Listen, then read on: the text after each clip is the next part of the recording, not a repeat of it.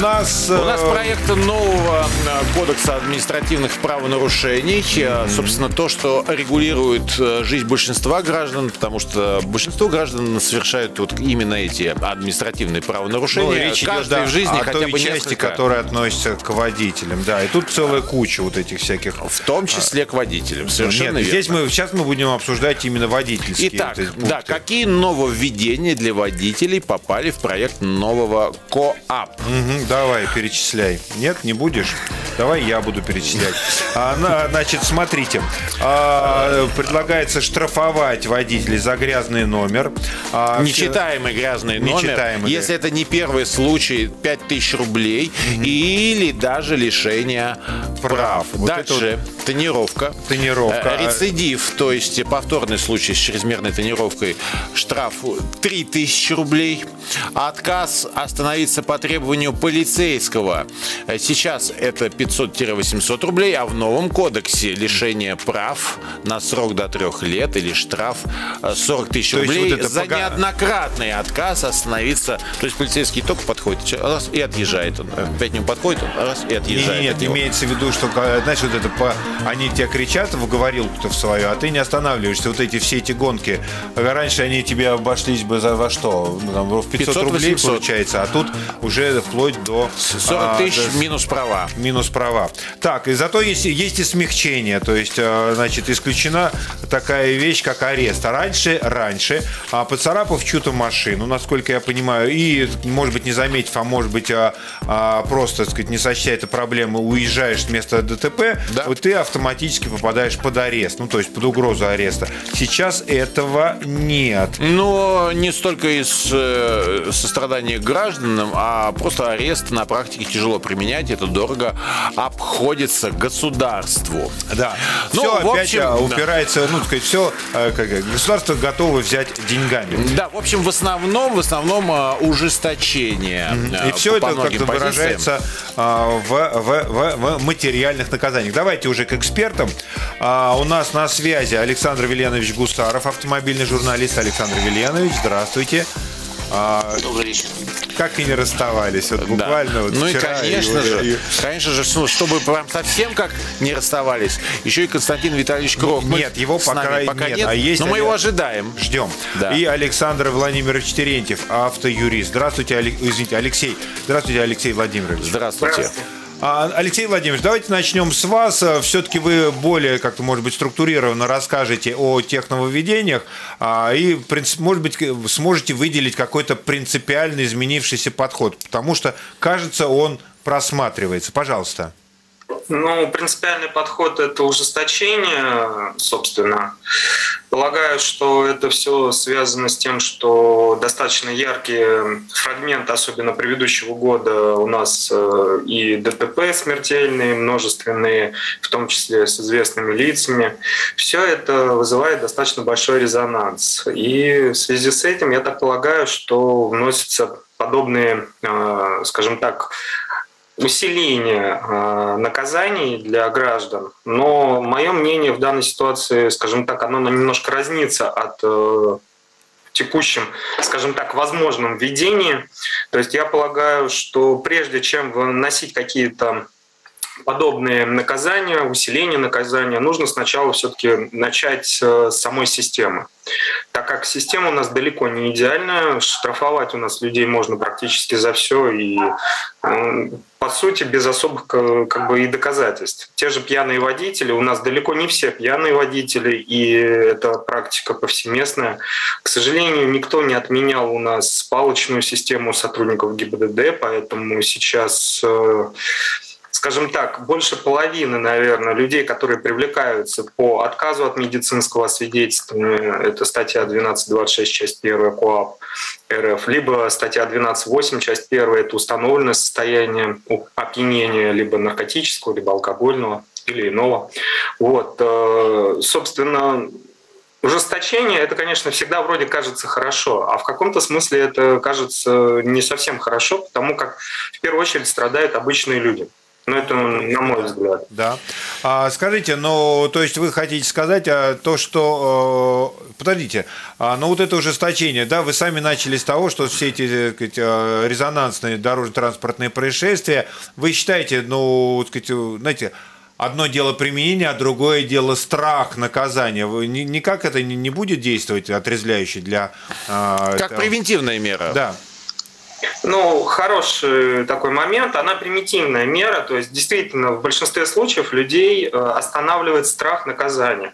Но, скажем так, люди, которые ездили пьяные, они будут продолжать ездить пьяными. Э, вот. А люди, которые в принципе не употребляют, не злоупотребляют, садятся за руль, допустим, утром, э, но накануне они что-то отметили, сели за, утром рано за руль, едут, они себя чувствуют абсолютно нормально, адекватно, то есть никаких проблем проблем не, не, скажем так, никаких проблем не чувствуют. Но при всем при этом э, их останавливают сотрудники ГИБДД, начинают э, ну, буквально и нередко разводить. То есть откажись, не надо тебе, у тебя потом будут проблемы. А, только забывают очень о многих вещах, что человек может продуться, у него может показать небольшое показание, то есть там, ну, к примеру, 0,2 мг на литр. Это небольшое значение, так как допустимое значение у нас является 0,16 мг на литр. И если человек продулся на месте, у него там, к примеру, 0,2 мг на литр, ему нужно не соглашаться с результатами освидетельствования, а ехать к врачу-наркологу, потому что пока он доедет к врачу-наркологу... выветрится, да. Ну, не а то, что выветрится, зачастую еще не нужно забывать, что у нас, к сожалению, инспектора не являются прям святыми. Это да. Ну, там, может быть, уже что-то было такое. И с той, с той стороны люди. Да. И они а как-то пытаются решать по-людски. Свои проблемы. Александр ну, Веленович. Вот в данной ситуации как раз решаются вопросы зачастую не совсем по-людски. Понятно. Александр Веленович, ваши отношения вот к этим всем этим ужесточениям? А, ну, вот смотрите, а, про пьяных я согласен, да, тут очень много аспектов. А, ну, например, вот грязный номер, меня вот это больше интересует. А, грязный номер. У нас а, 9 месяцев зима. А, то есть я должен через каждые 50 километров останавливаться да. и протирать свой... Но номер, это нормальным вы считаете? А что делать водителю фуры? У него время достаточно ограничено. Согласно логистике, ему нужно скорее приехать из пункта А в пункт Б. И, кстати, тут очень интересный еще момент. Я как раз вот написал на эту тему, что значит, ты остановился, и тебя еще могут нахлобучить на 3000 рублей за то, что ты остановился э, в неположенном месте. А, то есть, потому что вне отвезенных мест и карманов. Если я иду по трассе, и я так решил протереть номерок, останавливаюсь, и я тут же виноват. Да, меня еще можно наказать. То есть 5000 плюс 3000. Хорошие ну, деньги. На да, самом получается? деле, да, действительно, по нашей погоде, по той слякоти, которую в той же самой Москве зимой, не надо никакой трассы. Итак, просто достаточно любую машину остановить, если она не только что из мойки, и у тебя уже есть повод штрафовать водителя, да. А... Опасное вождение. Mm-hmm. Опять, Новелла вы понимаете, такая, формулировка да. настолько размытая. А, понять, что именно они употребляют, что именно они хотят засунуть в этот закон, я не понимаю. А, смотрите, вот ситуация. Я еду на ну, 60-80 км в час по Дмитровскому шоссе. Вот вечером в пятницу прошлую мы с сыном ехали. И неожиданно встает фура. Там всего два ряда. При, при, перед МКАДом два ряда. Третий ряд э, – это вы, выделенка. Что я делаю? Естественно, я резко оттормаживаюсь и ухожу влево, потому что или, а машина за мной, она не успевает. Но опасно я ездил, да. А мотоциклисты, они опасно ездят? Кто как, но они в принципе, же ездят да. между ряди. Да. Ну вот смотрите, значит, их точно штрафовать нужно каждый день, да, по, по, по нескольку раз в день, да, люди. Ну, да, там да, у нас же, мы уже а, даже обсуждали, по-моему, это, что а их уже для них специально вот эту статью предлагают за междурядье в принципе. Хорошо, а вот это вот еще одно нововведение, вот это а, то, что предлагали региональные власти, мусор из окна. Конечно, отвратительно, но ведь, так сказать, бычок, жвачка, как вы думаете, давно пора штрафовать было? Честно говоря, да, потому что в Европе э, просто люди стучат. Если я выкину окурок из окна, угу. э, на, на меня настучат, и меня штрафует полицейский. Хорошо. У них достаточно жесткая система наказаний. Алексей... Как меня бесят люди, почему у нас никто не регламентирует, когда люди ездят с дневными ходовыми огнями светодиодными вечером. Они не понимают, что они слепят человека другого, как встречного водителя. А у них загораются приборы, они вообще даже они не собираются думать о том, что у них не включены ходовые огни для вечера, что у них габариты горят просто, что горит ДХО. Бы, и такие, это же повсеместно. Да. Это а в Европе даже за э, включенные противотуманные фонари тебя штрафуют. Угу. Это нормально. К нам Просто... присоединился еще один эксперт. И... Присо... Да, он присоединился. Нет, нет, да что ну... ж такое, когда он присоединится? Не факт. Давайте. Алексей Владимирович, ну вот, э, знаете, вот я про жвачку. Знаете, я тоже, меня это бесит, когда вот это вываливается что-то из окошка, из соседнего. А, но здесь мы тут же переходим к, к правоприменению. Вот как ловить, а, так сказать, и так далее и тому подобное. Ведь здесь вообще же, так сказать, просто останавливаешь любую машину и говоришь, а, вы выбросили окурок из окна. Все Я, еще какая-то видеофиксация требуется для того, чтобы с телефона. Да, доказать это правонарушение.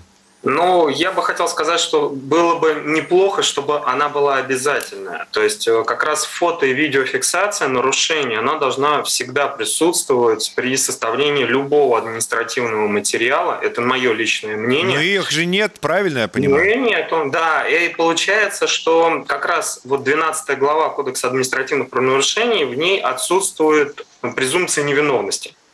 То есть, э, если в отношении гражданина составлен административный протокол, он априори виновен. Да. И получается, вы должны доказывать свою невиновность.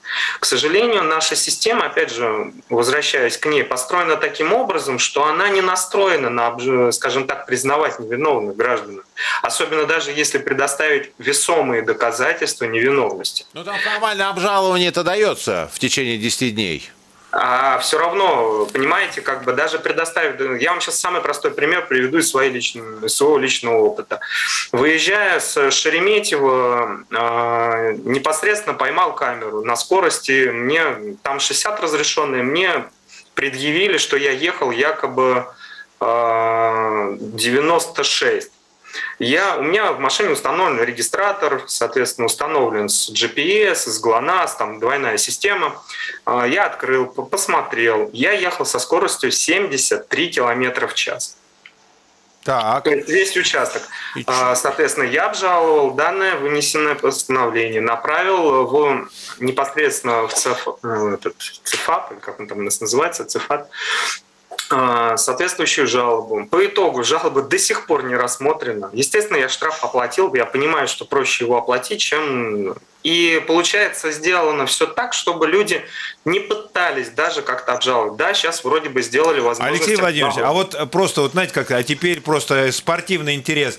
Вы рассчитываете, что когда когда-нибудь эта жалоба будет рассмотрена по существу, или может быть довести дело до суда, вернуть эти деньги, или как-то там и так далее? Ну, и спортивные интересы сейчас просто немножко перезагружен. И спортивный интерес у меня есть э, желание привлечь э, сотрудника, который рассматривает данную жалобу к уголовной ответственности по факту халатности. О, вы ставите О. достаточно большие, амбициозные а цели. Вот только скажите, вот этот регистратор ваш, который, в принципе, куплен, ну, у нас у всех есть, они куплены неизвестно где, неизвестно как. Он вообще какую ну, силу в суде имеет? Он имеет а, юридическую да, конечно, силу. имеет. Э, вы вправе предоставлять любые доказательства, полученные законным путем. Но суд будет это как э, воспринимать? Это Принимает же, учитывает по своему усмотрению. Хоро, хороший ответ. Вот ходишь по судам, пока не учтут. А, Александр Веленович, ну смотрите, а, я хочу ну, э, тоже обсудить вот это за три, а, не, за три грубых нарушения, проезд красный свет, не пропуск пешехода на переходе и так далее. Это, это новелла, что теперь будут наказывать Лиша. за да, да, да, пожалуйста, пожалуйста, уже готов, да, пожалуйста. Смотрите, теперь сразу вопрос. Вот юрист, наверное, не даст мне. А почему три? А не четыре, не два, а не А потому что Бог а Троицу любит, вот это же элементарно. Это? Ну как? Э, Бог Троицу любит. Нет, да. другой тогда возникает момент. А как доказать факт, что за рулем находился непосредственно этот человек? То есть у нас штрафы в основном приходят по почте, соответственно, ну, то есть фотофиксация, фото-видеофиксация. То есть те же штрафы за а, непропуск пешехода сейчас э, вносятся при помощи фотофиксации. Тоже, кстати, очень спорные моменты моменты возникают, есть разъяснение того же Верховного суда, что а, если водитель а, на транспортном средстве не препятствует а, переходящему пешеходу, то есть пешеход не Да, вот это странная такая какая-то была формулировка, не препятствует, не заставляет его изменить скорость вот, и направление вот, движения, да. и пути их не пересекаются, то типа и нормально все. Ну, Я этого вопрос, не понял. как не пересекаются. Это вообще не понятно. Да, тут они в любом случае пересекаются, потому что хочешь не хочешь, пешеход переходит все-таки дорогу. Мне кажется, вот. да, да. Но сам факт остается, что штрафы все равно людям приходят не за то, что они не пропустили пешеход, а за то, что пешеход наступил, получается, уже на зебру, а водитель находится от него в двух-трех рядах, ну, если это многополосное ну, движение.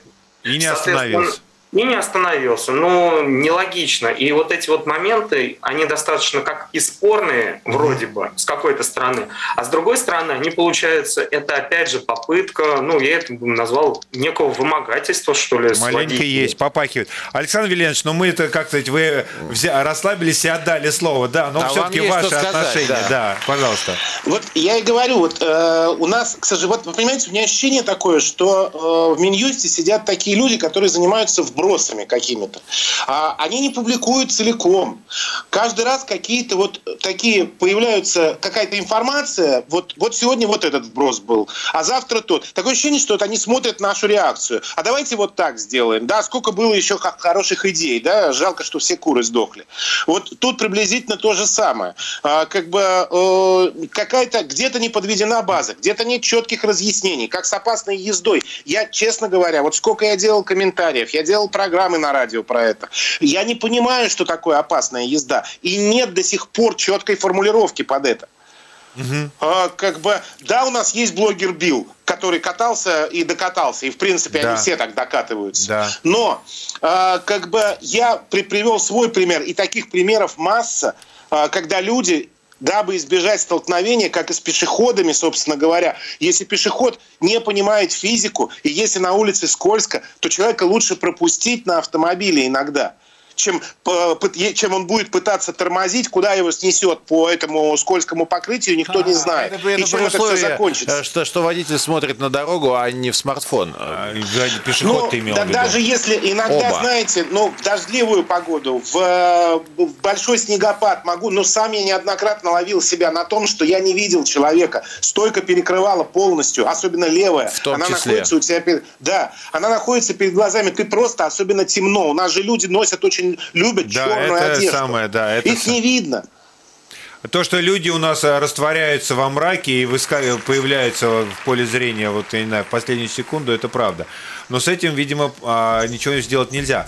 А скажите, пожалуйста, Алексей Владимирович, ну вот, а вот можно ли расценивать а, вот это вот исключение ареста, да, при покидании места ДТП и так далее? Это знакомая буквально а, неопытная водительница приехала ночью, ночью приехала домой, парковалась, поцарапала машину при парковке а, в панике, вот это вот, а, не знаю, что сделать, в общем, куда-то вот отъехала, переехала, а кто-то заложил. И ей потом, значит, ну, слава богу, ее не арестовали, но вот такой риск был. Вот, может быть, это Но хотя прав бы... лишили на полтора, и по суду ее лишили Но прав, прав лишили там, и всякое такое. На может быть, года. здесь какая-то гуманизация или в чем здесь основная причина, как вы думаете? А, ну, тут причина основная, конечно же, что у нас считают, что все те, кто покидает место ДТП, они пьяные. Mm. Почему-то кто-то вот так вот, э, какой-то умный в кавычках человек решил так, и, соответственно, у нас теперь э, признаются абсолютно все э, скрытия с места ДТП. Это фактически, что человек мог находиться в состоянии опьянения. То есть э, нету никаких исключающих иных вариантов, только такой.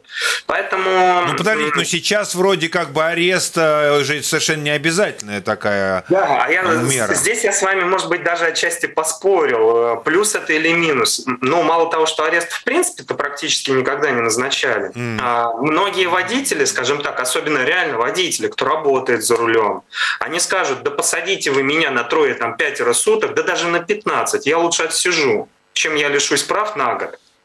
А, а арест, он как бы искупал вину вот это перед обществом человека? Или это все-таки некая мера предварительная? Вот просто наказание за само а, как-то покидание места, а вот я просто хотел чисто юридически. То есть, отсидев эти сутки, человек, все, сказать, с него проблемы его заканчивались. Или это только начало было? Нет, это ну, все, проблемы закончились. А. Это же административный арест, это, грубо говоря, как вас привезли в отдел, и там посидели, отпустили. Ну, суть приблизительно такая. С новыми людьми познакомились. Хорошо.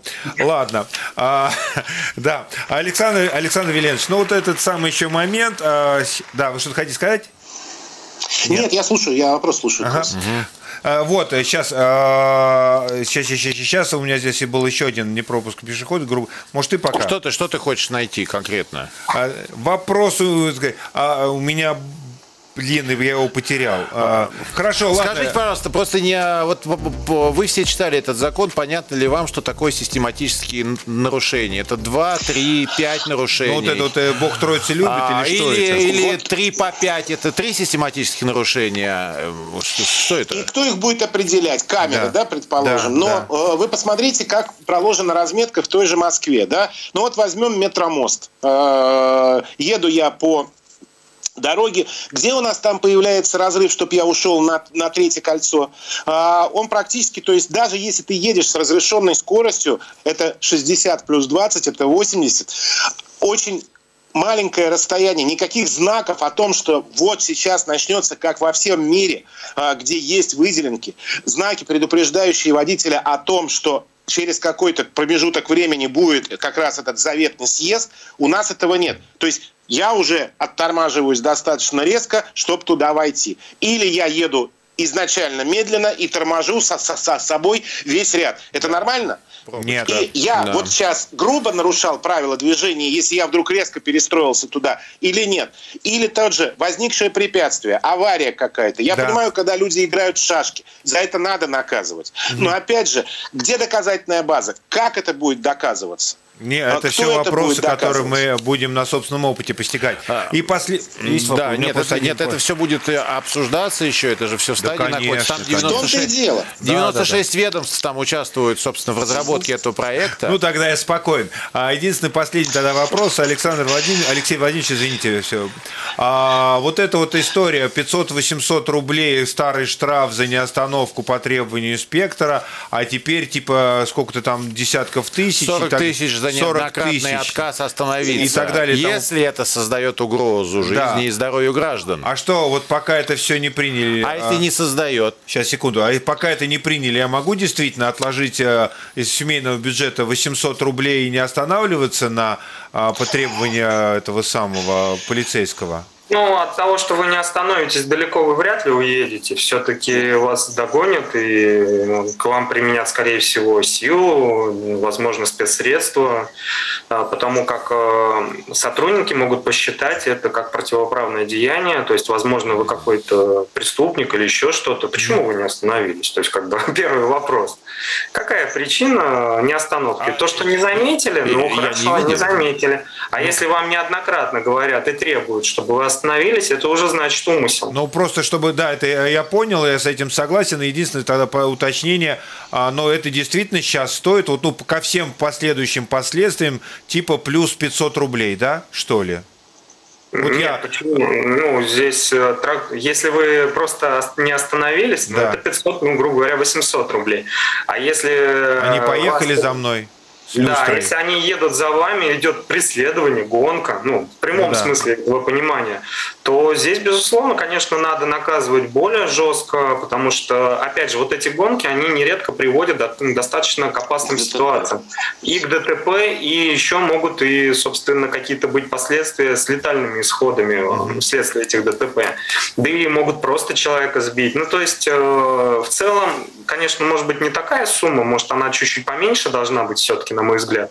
Но сумма должна быть существенная именно за то, что игнорирование а, требований остановки. Понятно. Спасибо. Многократно. Я... Согласен. И, да, и должно быть какое-то определенное, видимо, прописано быть. И плюс должна быть в обязательном порядке видеофиксация этой погони от начала до конца, что Но ну, человек... Обязательно. Знает... Что-то, надо, надо что-то в YouTube выкладывать в конце концов. Ну, опять же, да, как повод э, популяризации, что вот мы работаем, что мы выполняем свои обязанности и показывать, насколько мы справедливы и, правильно, самое важное, правильно и с точки зрения закона выполняем свою работу. Работу. Отлично, хорошая история. И Александр, Александр Веленович, последнее, знаете, эмоциональное ощущение вот от э, всех вот этих нововведений. Ну, знаете, вот общее какое-то. Вы знаете, пока вызывает непонимание какое-то, э, поскольку я опять же понимаю, что это всего лишь проект, а не готовый уже закон, не облечь силу за, за закон документ. А, но какие-то статьи действительно у меня вызывают э, просто недоумение, честно говоря. Э, как бы, и я очень надеюсь, хотелось бы мне, раз столько ведомств работают, там же сидят умные люди, не дураки же там сидят, надеюсь, опять же, а, то в конце концов он обретет обретет какую-то... То есть формулировки станут более четкими, а не размазанными. Угу. А, как с теми же вот гаишниками, которые... Как можно их не заметить? Вот очень странно, да, учитывая, что они стоят обычно сейчас несколькими машинами ну, и две, стоят да. с включенными проблесковыми маячками. У них светодиодная оптика э, проблесковая, ее видно за много километров. Это да. Как бы, вот. А, и я бы хотел понять, что такое опасное вождение. Почему три нарушения все-таки, а не ну, четыре или про пять? Про три мы вам объяснили. Тут, тут не надо. Ну. Про три уже все ясно. А что такое опасное вождение, да, пусть нам действительно реально объяснят и пропишут законодательно. Спасибо большое. Вот. Спасибо вам. Спасибо за разговор. Александр Веленович Гусаров, автомобильный журналист. И Алексей Владимирович Терентьев, автоюрист. Удачи вам, кстати, с вашим э, судебным процессом. Ну, а телефончик автоюриста у нас остался. Всегда пригодится.